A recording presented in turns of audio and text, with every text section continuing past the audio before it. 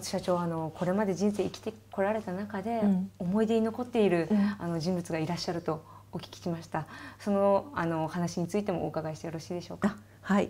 えっとですね、あの私あの大学の時に出会った恩師なんですね。でこの前ちょうど亡くなって七回忌ということで、まあ、卒業生みんな集まって、まあ、思い出話をしてきたんですけど、まあ、その先生がとっても厳しい先生でまあなんていうんですかね私の生涯の中であった初めての難敵だったんです。と言ってね今から思えばあのその先生に教育を受けたから今があるんだなとつくづく思う、まあ、そういう人ですね。先生からこう教えてもらった学びっていうのはどういったことだったんでしょうか？えっとですね、まずその私が4年生で入った時に、えー、実験をやるわけですけど自分で何やってるかよくわからないわけですよ先輩に言われた助手に言われたからこのデータを取りますということをまあ4年生ですからそういう類のことをやっていた時にあの先生が実験室にやってきて「長谷川君何やってるんだね」って言うんですよね。で「いやこの実験やってます」って言ったら「そんなことは見たらわかる」って言われて正解は昨日こういう実験結果でした。こういう考察のもとに今日はこれを確認するためにこういう実験をやっています。今日は今のところこういうデータですのでこれが正しかったとかいやここがおかしかったとかこういうあの結果あの推察だと思いますって言えばそうかねって言っていくんです、うん、ただ4年生でそんなことはできないですよ。で、ね、それがものすごくその怒られたっていう衝撃。でそれから実験データを持ってって説明をした時に「それで?」って言われて「それで?」何言えばいいんだか分かんないですよね。で2回目ぐらいまでは何とか答えたんですけど3回目に「それで?」って言われた時に全く分からない何を聞いてるのかすら分からないっていうところであの答えられないんですよね。でその時に先生に怒られてあの成績のいいやつはダメだって言われてえそんなこと生涯思ったこともないっていう生活じゃないですか、学生って。でそこでやっぱり思ったのはやっている実験というのは、まあ、自然現象を相手にしている。で生きたものだから今まで学んだことを全て総動員して今の現象を理解しなさいと。いうことを初めて教わったんですよ。でその時は何を言ってんだろうこの人はと思ったんですけど今から思うと経営だってやっぱそうですよね。数字があってその裏付けがあって原因があって原因というよりもその真因があって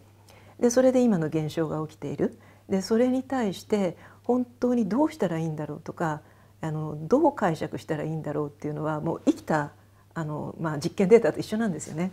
でそれに対して私が今までやってきたこと経験してきたことそれから本で読んだこと全て人からの意見も踏まえて全部ここにあの集約させなきゃいけない、まあ、毎日が最近そうなんですけどもう本当にこの年でこの仕事をやってああの時にきちっと学んでおいて本当に良かったなと思うんですよね。でその卒業生集まった時に厳しい親と厳しい先生は人生の宝だって言って今だからわかるって思いました それが今に生きてるっていうところですね。うん、本当そうですね。でもそういう考え方だったりとか、まあ、反応の仕方っていうのは、うん、多分どの人にとっても共通の課題ではないかなっていうですね、うん、思うので、うん、そうですね。だからやっぱりその目の前の現象というのをいかに自分の知識のを総動員して深く考えられるか。でそれを打つ手が間違ってるかもしれないですけれどもそれはその時々の考え方。で間違ったらあの速やかに修正するとか。やっぱりそれは本当にその私が大学の頃にあの実験だとか論文をまとめるっていうところで学んだことは無駄にはなってないんだなって本当につくづく思います。我々このコンテンツを100年後、そして1000年後までも残していきたいと思っておりましてこの時代を生きてこられた長谷川社長にですね次世代に向けたメッセージをいただけないでしょうか？うんまあ、我々の会社ということで見ると今回の大災害なんかで電気がどれだけ大事かということ、まあ、社会のインフラがどれだけ大事かっていうことは皆さんもうご調子になっていることだと思うんですね。やっぱりそこを、えー、守ってくる作り上げていくというその地道な仕事の大事さでそれを真面目にやっていくという大事さ、まあ、それは当社だけではなくてあのいろんな企業さんあの企業だけではなくていろんな機関も含めてそういうことがあると思うんですね。やっぱりこう派手なところだけではなくて地道なところをきちっとやっていく大事さ。それからもう一つはですねやっぱり変わっていくことを恐れちゃいけない。でどんどん新しいものに挑戦をしてその間違うこともあるかもしれない。でもそれをある程度容認した上で新しいものに挑戦してあの変わっていくことチャレンジすることは絶対悪いことではないんだって非常に保守的になあのところに陥りがちなんですけど、まあ、日本の社会がどうこうっていうのもありますけれどもやっぱりそれはねあの日本という価値観を大事にしながらあの周りを見て自分たちは変わっていかないと置いてかれるんだ衰退していくんだ変わっていくことに意味があるんだということをちゃんとこう2つのバランスをとっていくということはすごく大事だと思うんですよね。当社もそうですし他の会社もそうだと思いますしあの伝統を守るということは決して今のままで